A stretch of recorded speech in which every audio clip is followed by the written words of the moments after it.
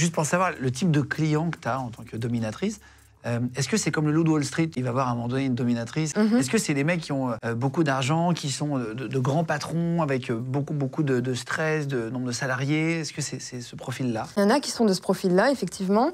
Après, aujourd'hui, il y en a euh, de beaucoup, beaucoup de, de types différents. Justement, maintenant, j'ai l'impression que même les personnes qui sont plus jeunes arrivent à se lancer dans le BDSM grâce euh, peut-être à ce qu'ils voient sur les réseaux sociaux, grâce à Internet, en fait, le fait qu'ils voient que finalement c'est quelque chose de normal.